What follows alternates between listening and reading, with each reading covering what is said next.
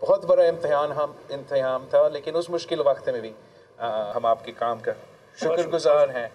बाकी आपका हमारा और आपका जो खिदमत का एक आपका एक सोच है एक फ़लसफ़ा है वो मिलते जुलते हैं।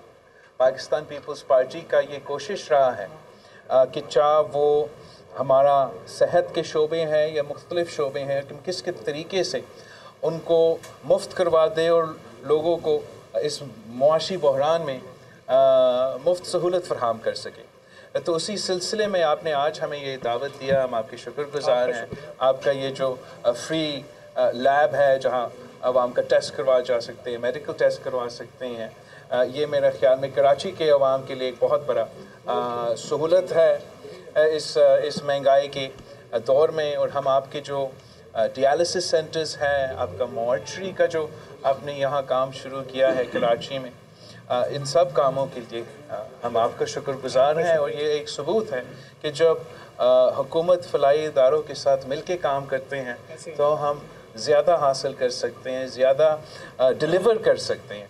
इसी तरीके से इन ताला अगर अल्लाह ताला ने हमें मौका दिया तो इलेक्शन के बाद हम एक बार फिर आपके साथ मिल के काम करेंगे ख़ास तौर पर कराची के आवाम के लिए तो आपका अच्छा, बहुत बहुत शुक्रिया आपका सवाल सवाल ये है कि एक तो सवाल तो इस लाइब्रेरी के हवाले से और जेडीसी फाउंडेशन के हवाले से होगा इलेक्शन का ऐलान हो गया आपका हाँ। सबसे बड़ा मुतालबा बिल्कुल। आज आपके चेहरे पे रौनक भी आ रही है। तो लेवल लेवल प्लेइंग फ़ील्ड भी आपको दी जाएगी या कैसे? जो है हम क्या तो आप सबको इलेक्शन की चाँद मुबारक हो। और मैं समझता हूँ कि ये एक बहुत बड़ा कामयाबी है कि आज इलेक्शन कमीशन ने बाकायदा ऐलान किया है कि फेबररी एथ को इलेक्शन होगा तो इन ताला ज़रूर फेबररी एथ को इलेक्शन अब होना चाहिए। बेहतर ये होता कि सुप्रीम कोर्ट या किसी और अदालत इदारा को मदाखलत करना नहीं पड़ता और ख़ुद ब खुद ये कदम इलेक्शन कमीशन ले लेता, लेकिन अब जैसे भी हुआ हो गया है और पाकिस्तान पीपल्स पार्टी अपना जो कैंपेन है और आवाम के साथ जो हमारा सिलसिला है रबता है वो जारी रहेगा छोटे से छोटे से दो सवाल। एक एक आपको कैसे पता चला? आपने कुछ दिन पहले कहा था इलेक्शन कमीशन को तारीख दे दो वरना कोई और तारीख देगा।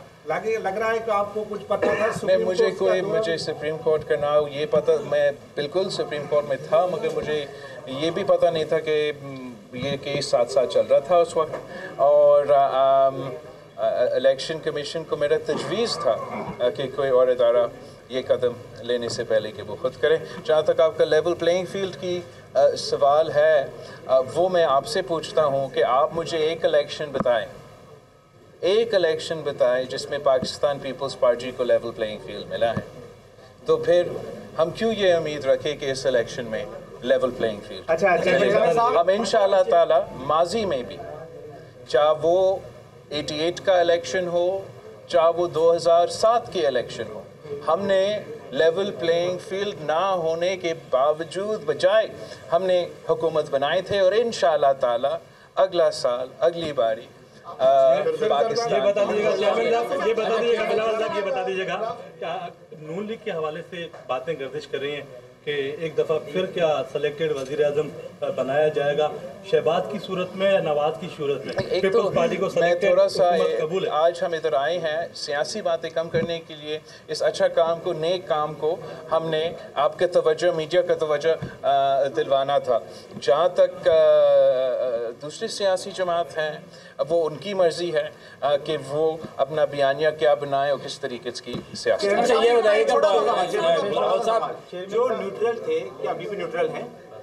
वो आप मुझे बता दें। अच्छा ये मौलाना फजल रहमान ने कल कहा है कि इलेक्शन अच्छी बात आ गई है लेकिन इलेक्शन होते हुए कहीं नज़र नहीं आ रहे उन्होंने कहा है कि बिल्कुल इलेक्शन कहीं नज़र नहीं हो रहा आप आप आप मौलाना फजल रहमान साहब से ये सवाल पूछे। मेरा ख्याल में मौसम मौसम भी सही है और डेट भी आ चुका है तो अब इलेक्शन ज़रूर होंगे।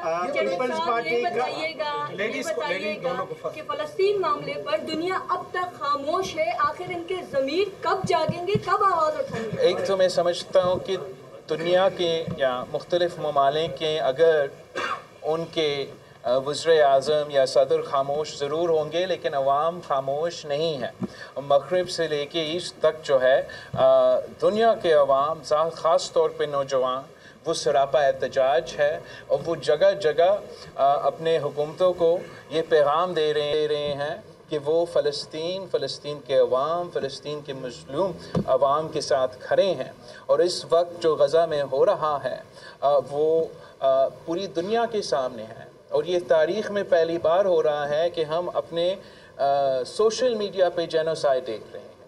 अब दुनिया पे ये फ़र्ज़ है वो जो ममालिक इंसानी हकूक़ पे बात करते थे जो मुझे लेक्चर्स देते थे जब मैं वज़ीर ख़ारजा था इंटरनेशनल लॉ पे और जैसे यूक्रेन में इंटरनेशनल लॉ वायलेट हो रहा है तो अब उनको एहसास होना चाहिए कि किस तरीके से किस जुल्म के साथ गज़ा में आ, ना सिर्फ़ इंटरनेशनल लॉ मगर इंसानियत को जिस तरीके से वो बच्चे को कत्ल कर रहे हैं नस्ल कैसी की जा रही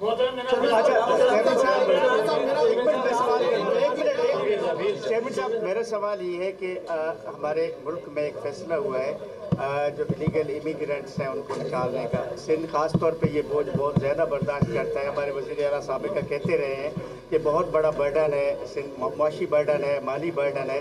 जो लोग इलीगली यहाँ पे ठहरे हुए हैं, उनके बारे में पाकिस्तान पीपल्स पार्टी का क्या मौका है? देखो, जहाँ तक इस इशू है, इस पर पाकिस्तान पीपल्स पार्टी के मौक़ काफ़ी देर से वाजे हैं और कोई किसी भी अलीगल काम हो, कोई जमात उसके साथ नहीं दे सकते हैं। मगर जो इस वक्त हो रहा है और जिस तरीके से ये कदम उठाया जा रहा है, उस पर मेरा ख्याल में तबसरा हो सकता है कि इंसानी हकूक़ के बारे में पाकिस्तान पीपल्स पार्टी ख़ास तौर पे हमारा ह्यूमन राइट्स पे हमारा एक बहुत सख्त मौक़ है। और मैं समझता हूँ कि अब कानून पे अगर अमल दरामद होना है वो तो ज़रूर हो मगर हम इंसानी हकूक़ का ख्याल रखा जाए। और वो इस वक्त उस पर बहुत से सवाल उठ रहे हैं।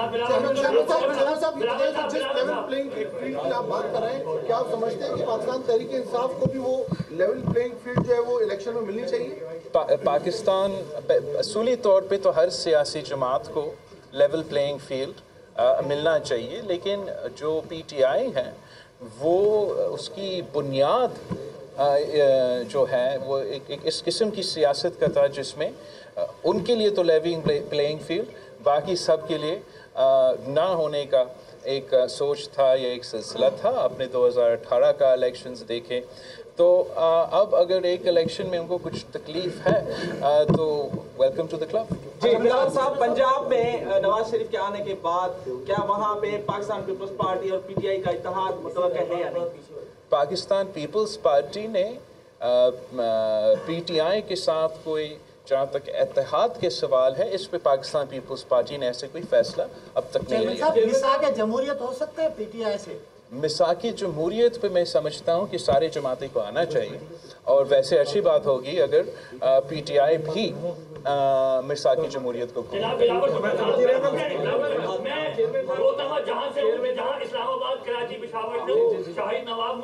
और आज पहली बार आपके सामने मुखातिब हूँ इसलिए नई शर्ट पहन गया हूँ थैंक यू और एक सैयद हमारे शहजादे साबिक वजी जनाब शाह साहब खड़े और आपके राइट में भी एक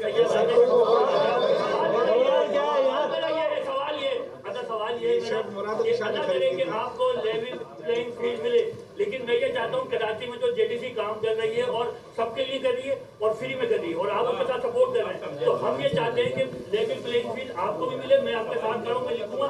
लेकिन हम ये चाहिए कि सबसे सबसे बड़े शहर कराची के खिलाड़ियों को प्लेइंग फ़ील्ड मिले। सर ग्राउंड बहुत महँगे ये इसकी तरफ़ दिलाना चाहता हूँ कि आपके अपने बल्दिया उत्तर कराची के ग्राउंड शहर कराची में बहुत महँगे हैं आप कुछ ऐसा करें शाह साहब करें सवाल क्या है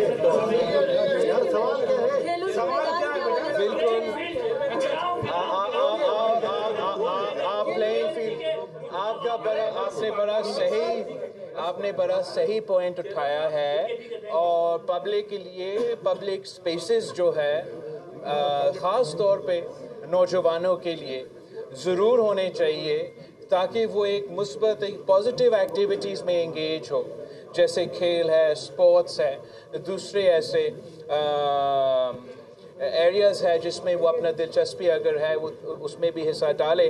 पाकिस्तान पीपल्स पार्टी की पिछली हुकूमत ने एक जो पीपल्स स्क्वायर्स है वो कराची में इंट्रोड्यूस करवाए हैं। और पीपल्स स्क्वायर्स का मकसद ये था कि हम ऐसा जगह फराहम करें जो कि एक नौजवानों के लिए और शहरियों के लिए चाहे वो आए और कराची को एंजॉय करे। जहाँ तक खेल के मैदान हैं, एक मैंने कराची में इनाग्रेट तो किया है इन जल्द अज जल्द मैं मिलीर में भी इनाग्रेट करूँगा। लेकिन हर डिस्ट्रिक्ट में हमें हमारा ये गोल होगा हमारा हमें कोशिश होगा कि हम ना सिर्फ़ एक पब्लिक स्क्वायर मगर खेल के मैदान में आपका बहुत शुक्रिया आपके इदारा का बहुत शुक्रिया।